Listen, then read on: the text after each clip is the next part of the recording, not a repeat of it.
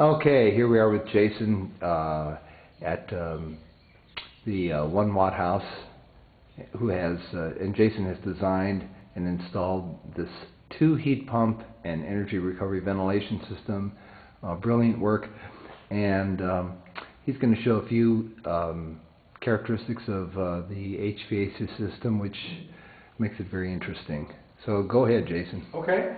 In the previous video, we talked about having a passive laundry drying closet uh, that's tied into the ERV system. Also, the bathrooms are tied into the ERV system. The ERV system always draws from the bathrooms. You have the option of boosting that air. Normally, it's, it's minimum airflow of uh, around 40 CFM, which meets our code requirements. And uh, in, the, in the event that you need to move more air out of the bathrooms, you have the option of hitting a timer in either bathroom, which then boosts the output from the ERV. Uh, And where, where is that ERV? That that's right to mine Oh, right now. This is accessible from the okay. mechanical Let's room. take a look. Let's swing around here and just take a look. This big black box here, then.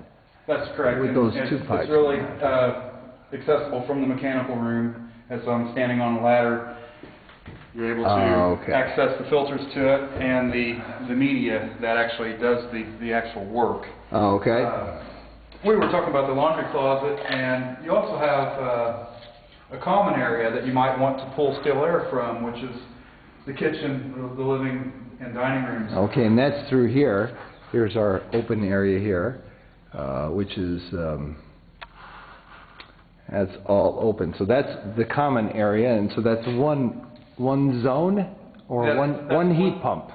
That's, that's, there's one heat pump that takes care of that area, plus the library, which is on the opposite end from where we're standing. Uh, the, the other unit takes care of the master bedroom where Dave is standing, the master bath, the laundry room, the second bedroom, and the hall bath.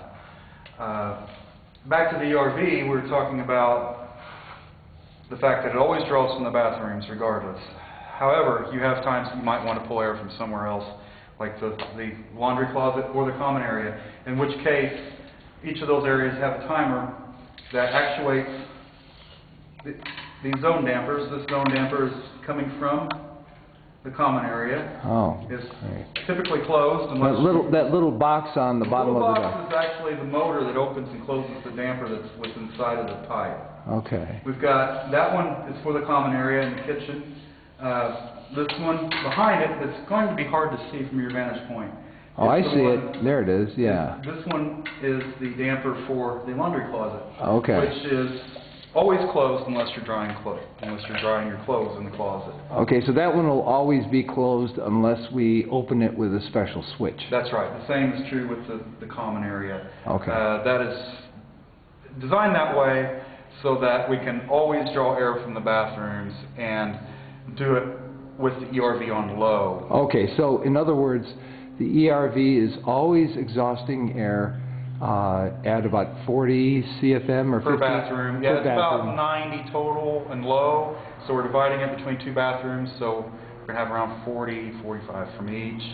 Uh, We've got, the master bathroom is pretty large, so we may want to draw more air from that from time to time. So we have the option of pressing a timer on the bathroom wall, which boosts the output of the ERV to about double what its low range is, so it's going to put, pull about close to 200 CFM on high Okay, and that will then pull basically 100 CFM from each bathroom unless you have the drying, the clothes drying closet open or the common area open. If you were to activate one of those, it's going to open the damper and also, also activate the boost function on the ERV, which will then increase the uh, airflow to its maximum. so literally, we could keep this, this flowing all the time.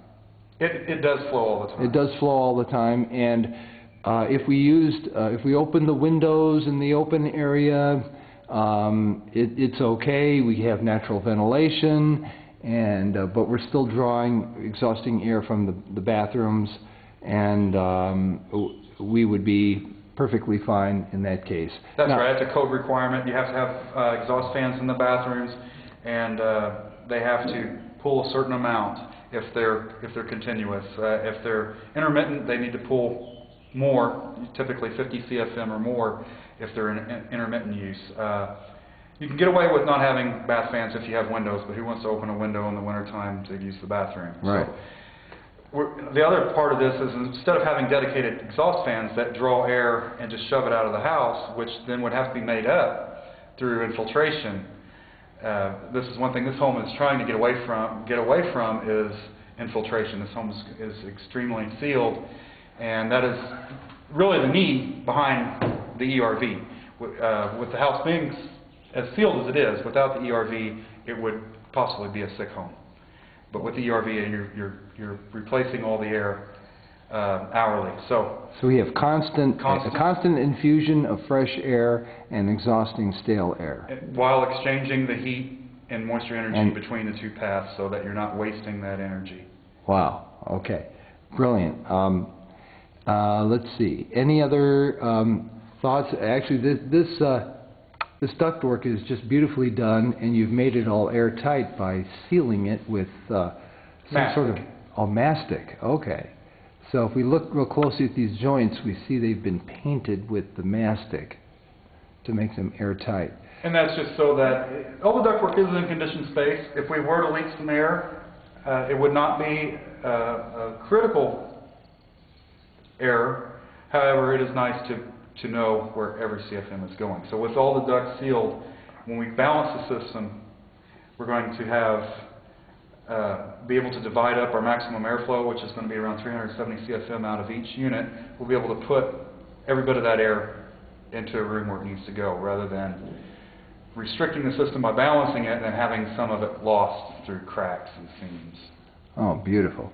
Well, that's fantastic. Thanks a lot, Jason. We'll, uh, You're welcome. We'll uh, see how the house performs uh, at some point and uh, kind of recap everything when we get drywall up and uh, just see how well all of this works. Um, and so thanks for checking out our video.